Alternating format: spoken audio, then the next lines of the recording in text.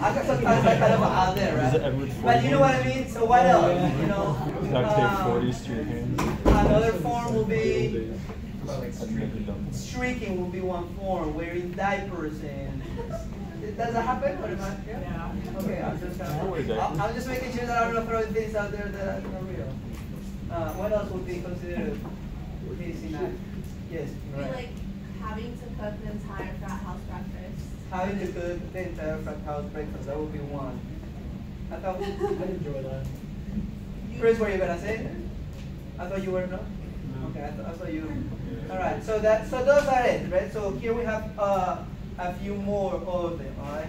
People being yelled, cursed, or sworn at, uh, binge drinking, uh, consumed alcohol, participate in drinking games, wearing embarrassing clothing, um, acted as a personal servant, own or post the field, tied up, taped, or confined to a small space, got a tattoo, piercing, head shaving or branding, sexual acts, kidnapping, deprived of, of food, water, or sleep, uh, consuming concussions, concussions, uh, destroy or stole property, whip, or bitten.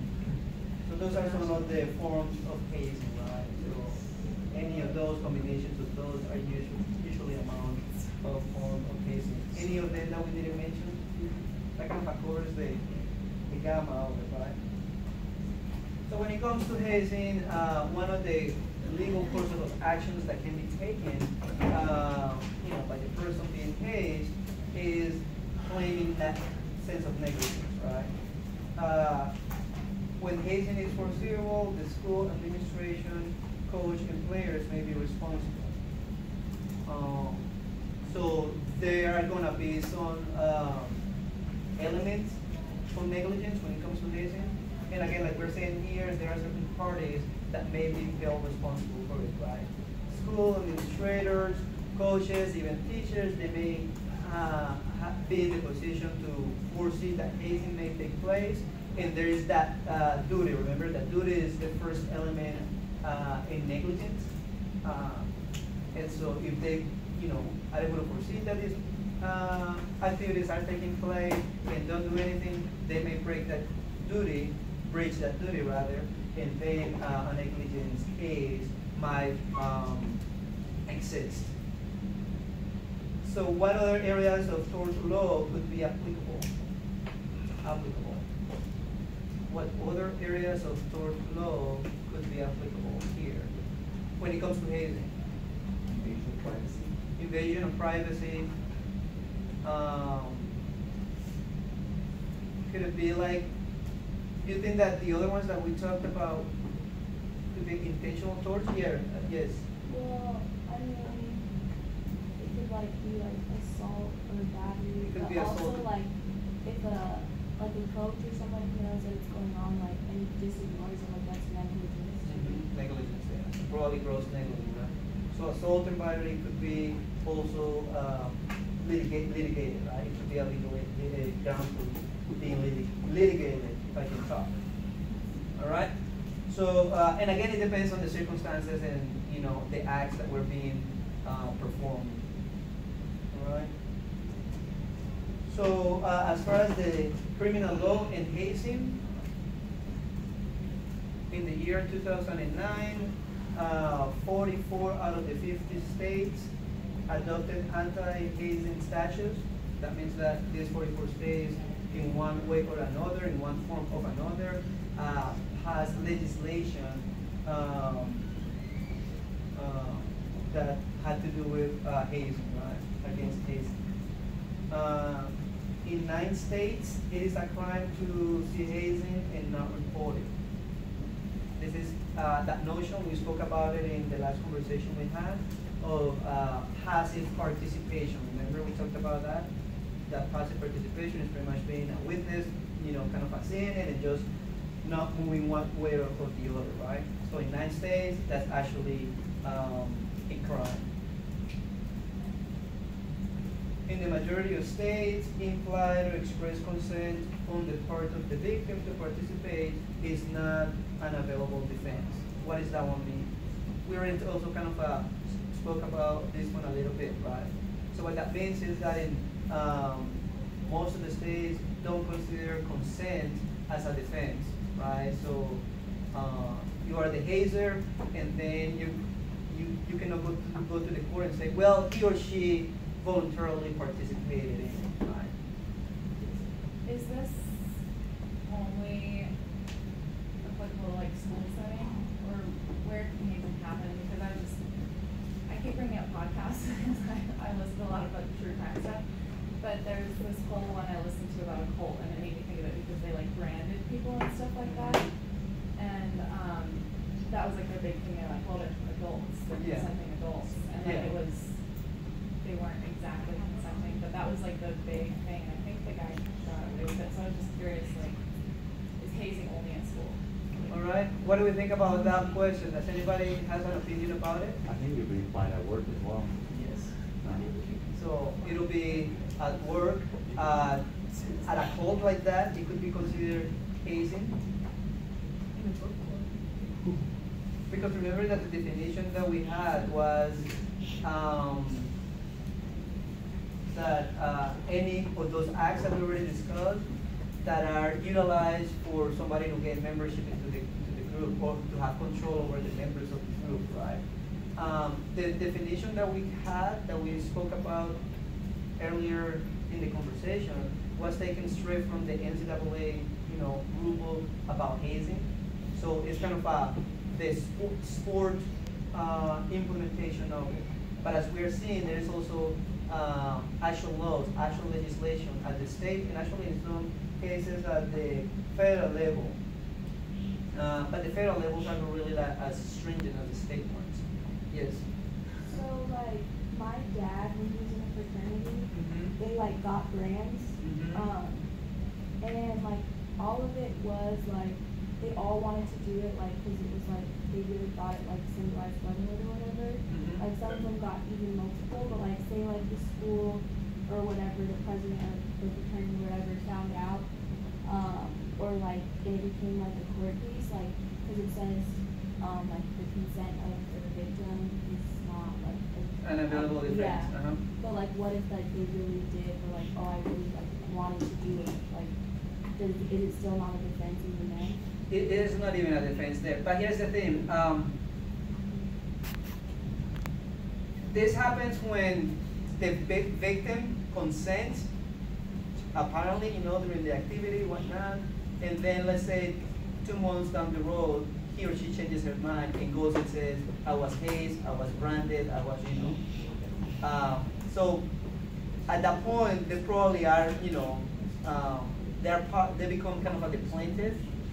Uh, so they probably can say, well, I was under this uh, coercion, I was, I was under this, you know, um, yeah, they pretty much coerced me to do it, you know.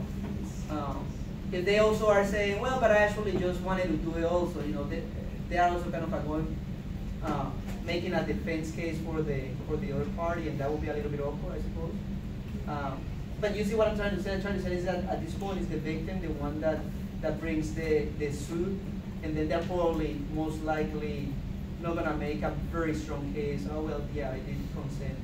They're probably gonna say, I consented, but here's what the circumstances that drove, uh, drove me to.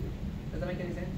Yeah. Um, I suppose that if it is a third party, let's kind of create another scenario where uh, your dad and his friends did it, and then the school knew or, or was, you know, sued for it. Let's say by one of the parents of the of the person who got branded, right? Um, then that wouldn't be an available defense, but it sure would help the institution if the members of the fraternity went and sat on their on their side, right? And said, oh well, no, the institution had nothing to do with it.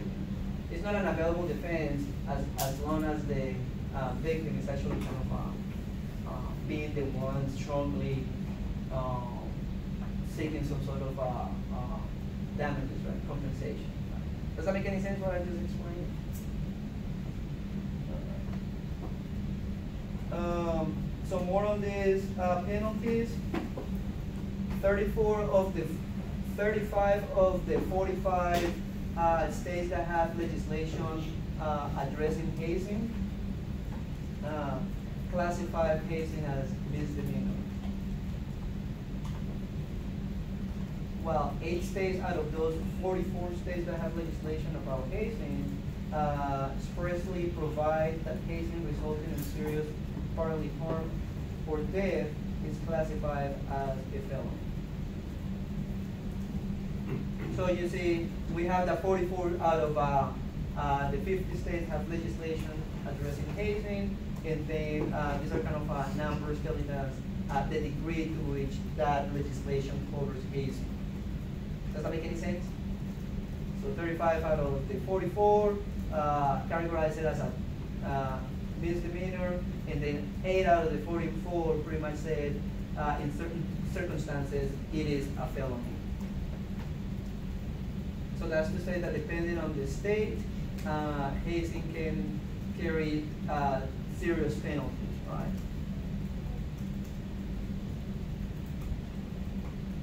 So violating the state hazing statute can get you, again, depending on the state, depending on the circumstances, uh, a fine of between ten dollars and up to five thousand dollars. Uh, jail time ranging from, uh, ten days up to a year, uh, yes, to a year. And then the withholding of your diploma. Expulsion from, expulsion from school is another penalty. Uh, and also the recession of the right to assemble in, on school campus, on campus. So pretty much they take away your right to assemble on campus. Another, of the penalties. Alright, so the ones that are not on the screen are expulsion from school and your right to assemble from campus can be taken away. Um, so what are some of the defenses for, for a hazing claim? What do you think would be one defense for it? You're accused of hazing or you're accusing somebody of ha- uh, hazing you, what would be a defense that the hazer could, um, try to amount for his or her case? Or is something that is not defendable? It is defendable, right? So they get something to be part of the fraternity. Yeah, so it's that, uh, yeah. yeah, so assumption of risk. At the end of the day, that's kind of uh, the first go-to defense, right? Uh, again, whether it'll stick and whether it'll be successful, uh, is a matter of the process to play out, right?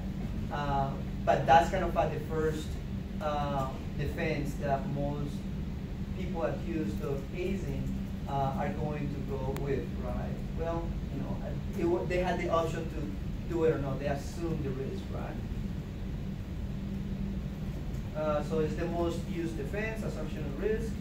Um, the student athlete assumes the risk of being injured due to hazing.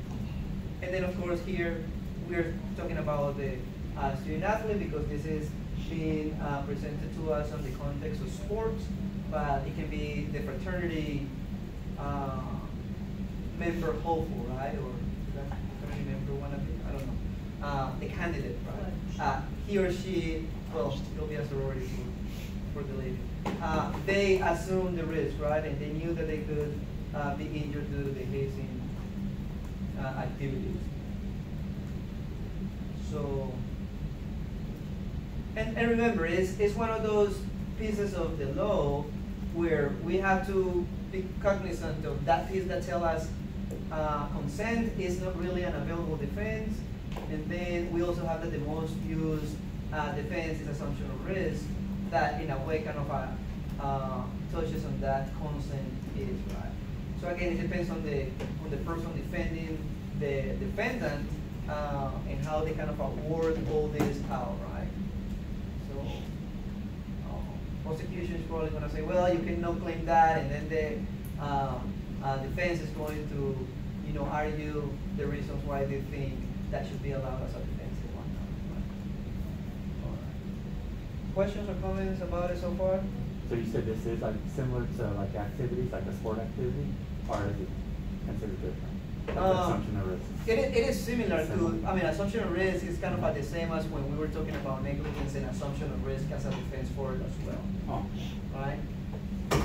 Pretty much it's saying that the person, uh, has knowledge of the potential consequences and, and then they still participated in them, right? mhm, and that they knew that by engaging in it, there was a risk of, again, being injured or being hurt or being burned or being, you know, I don't know, have a broken whatever due to the activity, the Mhm. hazing activity, right? So yeah, it is the same. Assumption of risk remains the same Mhm. throughout it, right?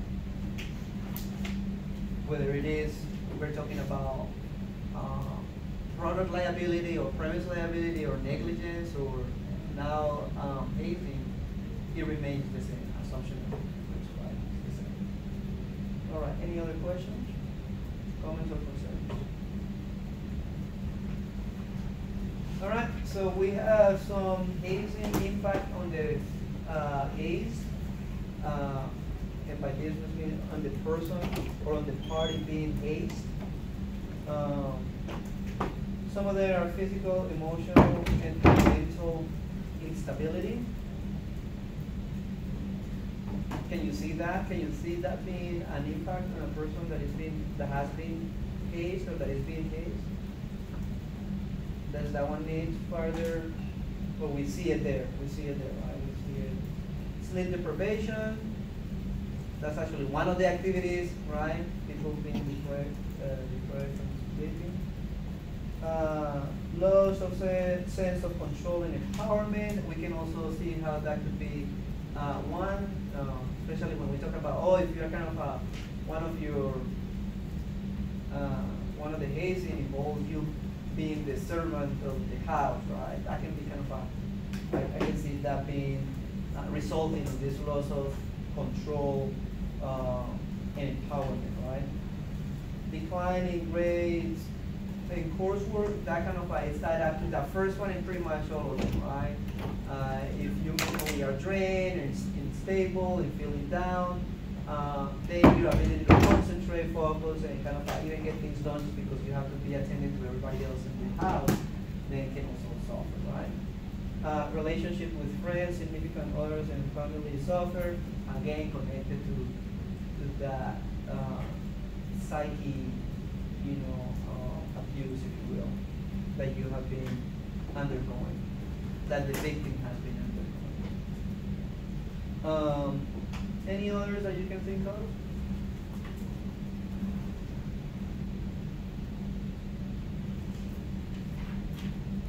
Another of the impacts is, is, uh, post-traumatic stress syndrome.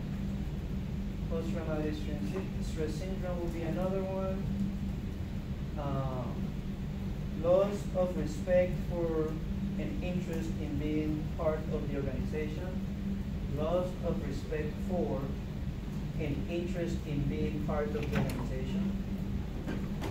You know, you probably kind of, uh, uh, if you used to think about that fraternity, that organization, uh, if you used to have an high esteem, you know, after you undergo that, you kind of, uh, you change your, your, you know, your view, your, your concept that you have. So one more time, uh, loss, loss of respect for and interest in being part of the organization. Loss or respect, loss of respect for and interest in being part of the organization. And then the last one is erosion of trust within the group members. Erosion of trust within the group members. So you lose the trust, you know, in the people that belong to the organization. Lose your trust, probably your respect as well, right? Erosion of trust within the group members. Erosion of trust within the group members. Okay, so that's the impact uh, that hazing has on the person or on the party that's being hazed. What about the impact that hazing has um, on the people doing the hazing. So in this case, the hazer.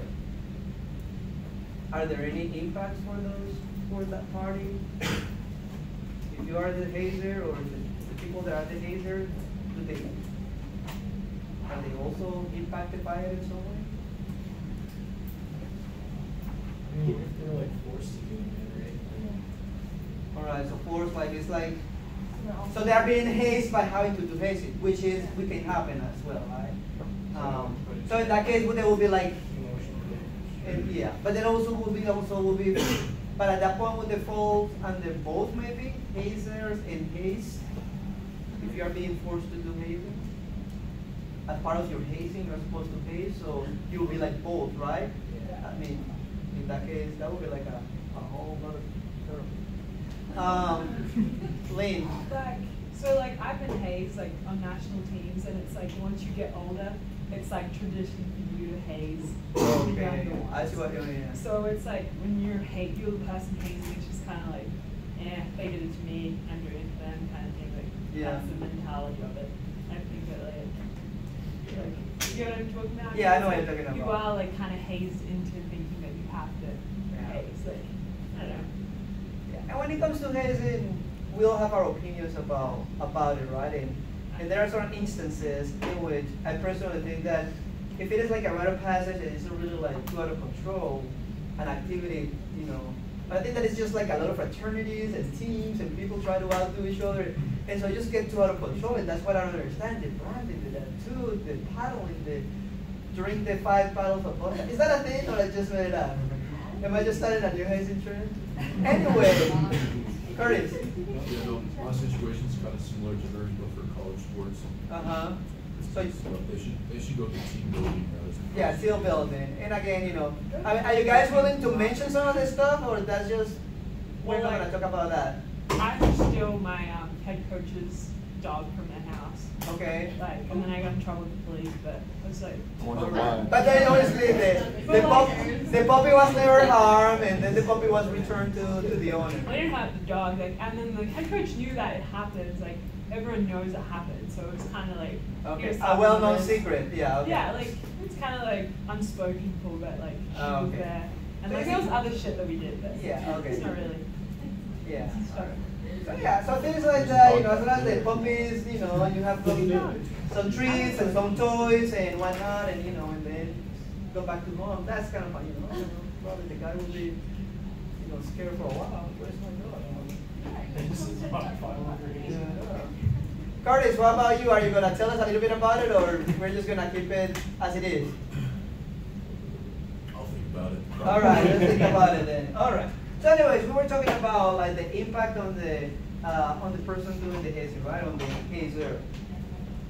And to a degree, they kind of uh, look uh, similar. Uh, decline in grades and coursework. Again, depending if the person might be in trouble. Like we said, you know, once it's kind of uh, out of the box and it just becomes uh, something that he or she needs to uh, devote a lot of energy into trying to figure out how to fix it, if you will. So again, that can translate into that person's uh, grades and coursework declining, right? Same thing with relationships with friends, significant others, and family may suffer, uh, maybe because of different uh, motives, as with the haste, right? Or the person being hazed. In this case, again, it's just again mi- uh, mindful of uh, uh, trouble. Uh, maybe the, uh, his circle of family and, and friends know about it, and that can be shameful, you know. So uh, those relationships may, may suffer because of that.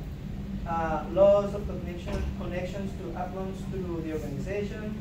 Um, say that at this stage we're talking about the person being um, taken away the right to go back into the campus or to even uh, to the fraternity house or you know that type of deal, right?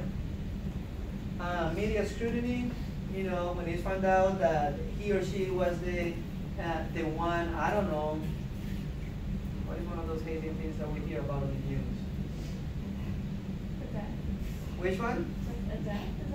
Well, let's say I did, you know, there was the cause that, oh, you, you were the one who made that person drink those five bottles of vodka and then that person's health was really in jeopardy due to alcohol poisoning, right? And then the media is pretty much asking, why did you do it? Didn't you think about the repercussions and, you know, and kind of uh, that type of thing, right? Um, so that can lead to damage to one's personal reputation. Damage to one's personal reputation. That's probably the one thing that that person might be now be known for, right? So it can be a little bit tricky for them to get a job and whatnot, right? So damage to one's personal reputation will be another one. Um, the next one is warped. What? Okay, warped uh, sense of leadership. So, you know, that kind of I get warped. As in, uh, Can you repeat that? warped sense of leadership. You know, as in your sense of leadership suffers. You kind of start second guessing, kind of uh, it, it gets weakened, you know. Warped sense of leadership, you have failure as you have you have failed as a leader, right? Or that's how uh, you will be perceived and probably how you will feel as well, right? This is Um, just if you get caught, correct? that is, yes. I mean, this is all, you know, this when it comes out to light, yeah.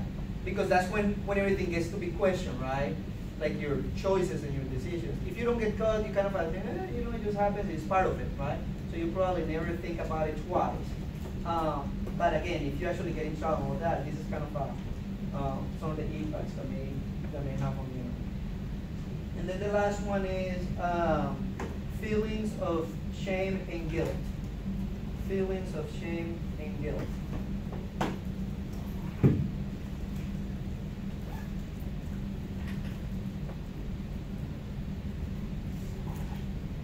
All right. So since we're talking about educational settings and institutions, there is another party that may also feel the impacts of hazing, right? In this case is the institution itself, right? So what are the hazing impacts on the institution? What do we think those impacts will be? How would hazing would impact an institution? Yes A bad reputation. bad reputation, right? So it's kind of a, uh, one of those, especially if it's foreseeable, if you know that you have a sorority, um, fraternities, then, you know, as administrative, as an administrative, let's go back. As administration, you should kind of have policies in place that kind of try to address that because you kind of can foresee that. So you have policies and rules and code for the houses, right? So right? and probably some follow-ups on, you know, close uh, checking on them.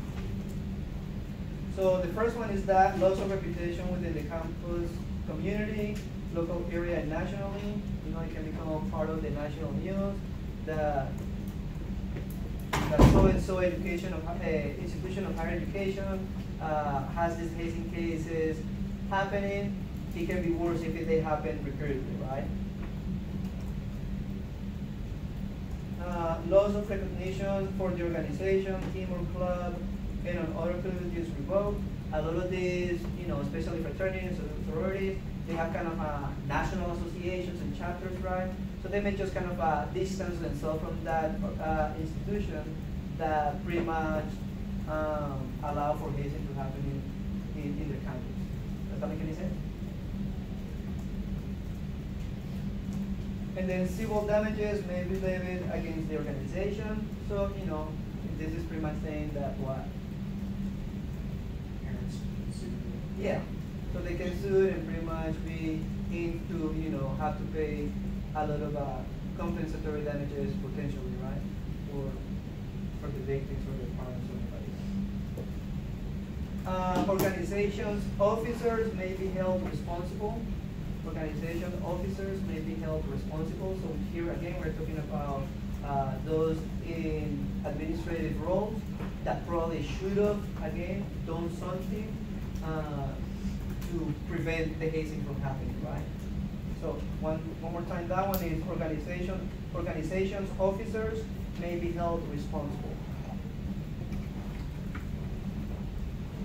And then the last one is an erosion of the true meaning and values of the organization. Erosion of the true meaning and values of the organization. Erosion of the true meaning and values of the organization.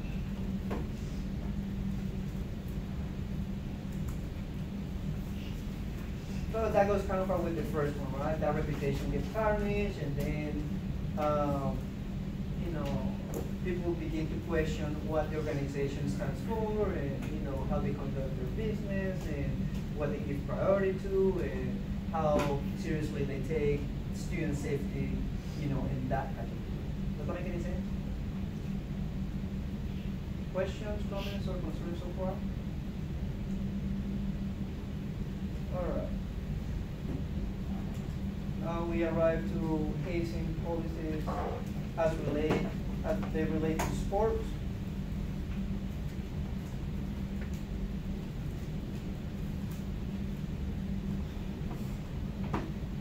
Uh, so the United States Olympic Committee has a handbook in the SafeSport policies. Uh, and they have, in that handbook, they have a definition, um, you know, for hazing. And it's pretty similar to the definition we saw the first day. That looks like the one from the incident, right? Coercing, requiring, forcing, or willfully tolerating any humiliating, unwelcome, or dangerous activity that serves as a condition for A, joining a group, or B, being socially accepted by a group, by a group member, or any act or conduct described as hazing under federal or state law. And then the USOC does have an exception, uh, that it pretty much reads that hazing that does not include group or team activities, uh, that A are meant to establish uh, normative team behaviors, or B promote team cohesion. So it's again certain activities that you know, like I was kind of uh, alluding to earlier. Uh, there is a like a line that I think that most people in society would agree to. That you know they may be kind of a prankish, whatever you want to call it, but still they serve the purpose of of building that camaraderie and you know this one again is taken like to that nth degree that is just that you know it becomes just something else. All right. So this is, in other words, this slide is just showing that uh, we have uh, higher bracket uh, sports organizations or governing bodies that have hazing in their roots, right? And that have that address it. This is pretty much what the purpose of this slide is. Everybody, you know, you really need to, you might kind of like just get the highlights from. What I just said is pretty much what is important about this um, slide.